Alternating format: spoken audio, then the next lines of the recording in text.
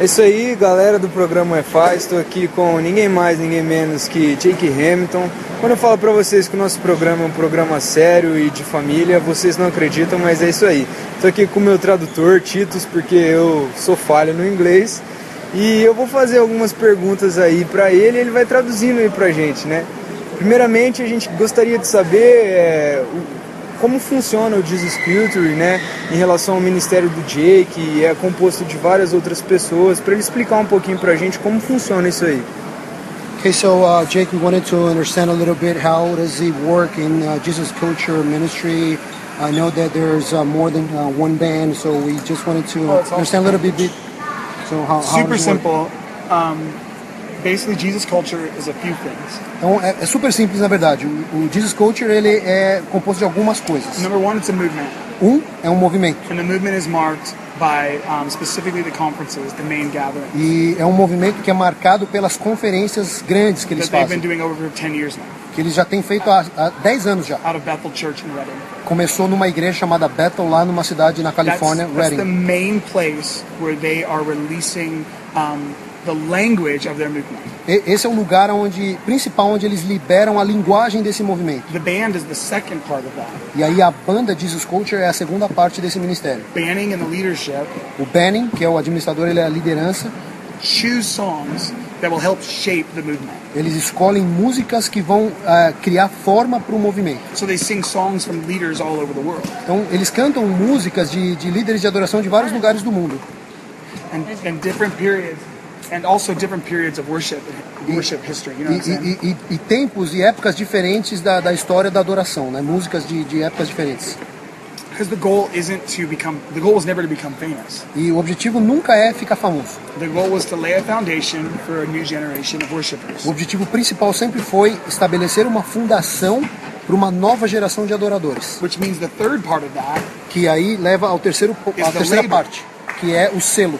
which essentially is a group of friends, Que fundamentalmente é um grupo de amigos different styles, de estilos different diferentes, backgrounds, de, de históricos but diferentes, same heartbeat. com o mesmo coração. We want to see a culture of revival Nós queremos ver uma cultura de up avivamento in a generation. sendo levantada nessa geração. That includes me, Isso inclui a mim, Jesus Culture Band, a banda Jesus Culture, uh, Christine uh, DeMarco, a Christine DeMarco, Kim, a Kim Walker Yeah, and uh, like several others that are coming up right now. e vários outros que estão surgindo agora também. And then the fourth part of that E a quarta is parte resource and training, é a parte de recursos e treinamento, which includes the books que inclui os livros, a, a parte things. de trabalho com universidades que eles So têm. that's how it kind of functions. Isso é basicamente como But funciona. the, the center of the thing Mas o centro desse negócio todo the gatherings são os ajuntamentos to create a language, para criar uma linguagem, para estabelecer uma fundação, para que outros possam ir mais longe. É, eu acho que eu poderia até parar por aqui, né? Porque foi uma pergunta muito esclarecedora, assim, eu, eu diria, né? Explicou vários pontos aí. Só pra gente finalizar, é, é a segunda vinda do, do Jake ao Brasil. Yes. Yeah, this is the second time. É a segunda vez. E o que ele acha do Brasil, do, do povo brasileiro, da cultura? Oh, number one, I love it. Cara, Um, número um, eu amo o Brasil. I love Brazil. We have a, my family has history in Brazil. A minha família ela tem uma história com o We Brasil. have uh, an- a great uncle A gente tem um, um- um- um tio avô do lado da minha, da minha esposa, who's a Jesuit priest que ele é um, ele é um, um- um padre jesuíta, in Campinas lá em Campinas. and started ranches, E ele começou com os sítios, Ah, com, com, com orfanatos. um, with uh, Ele trabalha kids. com viciados em drogas, meninos de he's, rua. he's over 90 years old now. Ele tem mais de 90 anos hoje. But there's just a history of our, of our family here. Mas existe uma história da nossa família aqui no Brasil. So our heart, when we first got invited by Dunamis, Então, nosso coração, na primeira vez que a gente foi convidado pelo Dunamis para vir para o we Brasil, just want to come serve the people of Brazil. a gente assim, queria vir para servir o povo brasileiro. We don't have to play the largest A gente não tem que tocar nos maiores We don't lugares, care. a gente não se We importa. want to serve the church of Brazil A gente quer servir a igreja brasileira. because I believe God is raising up a new generation of Porque, porque eu acredito que Deus realmente está levantando uma nova geração de adoradores. And I really, it hit my heart yesterday when we were at uh, Christ the Redeemer. Então ontem a gente estava lá no Rio de Janeiro visitando o Cristo Redentor e isso tocou muito o meu coração. That there is not another nation on the planet Não existe nenhuma outra nação no planeta who, when they see an image of Jesus, que eles tenham uma imagem de Jesus that statue, que é uma estátua, that they think of an actual nation. que ele que ele realmente assim é estabelecida num- numa nação verdadeira. Like if you see the Statue of Liberty, Então você já viu, por exemplo, a You know, Estátua da Liberdade lá no Nova York? Você pensa nos When Estados Unidos. Jesus, Quando você vê Jesus, Redeemer, o Redentor, arms, com os seus braços not abertos, broken, não, não not dying, quebrado, não morrendo, not in pain, não em dor, but arms outstretched, mas com braços abertos, a. pronto para abraçar toda uma nação. O mundo, o mundo inteiro pensa no Brasil. That means something. E isso significa algo. And I believe it's significant to the, to the whole world. E eu acho que isso tem significado para o mundo inteiro. Que essa nação é uma nação marcada.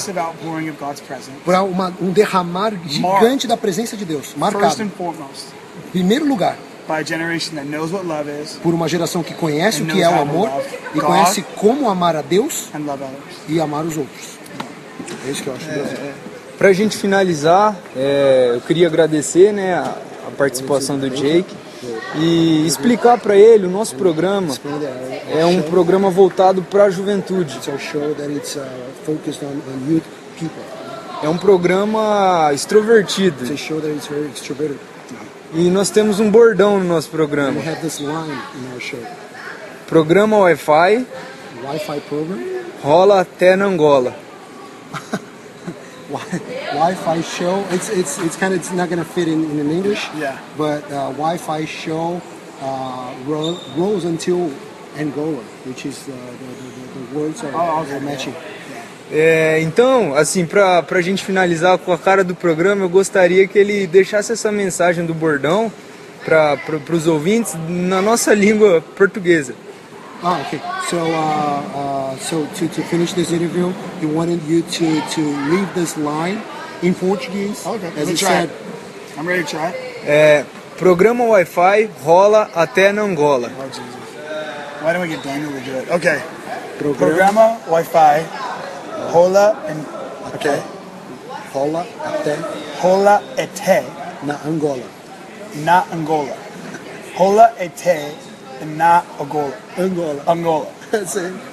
Oh Lord, that is terrible. My Portuguese is so horrible. This is what I promised to the people of Brazil. My English I is will, terrible. I Eu will prometi pro practice. povo brasileiro que eu vou treinar. I will practice Eu vou treinar. for next year. Pro ano que vem.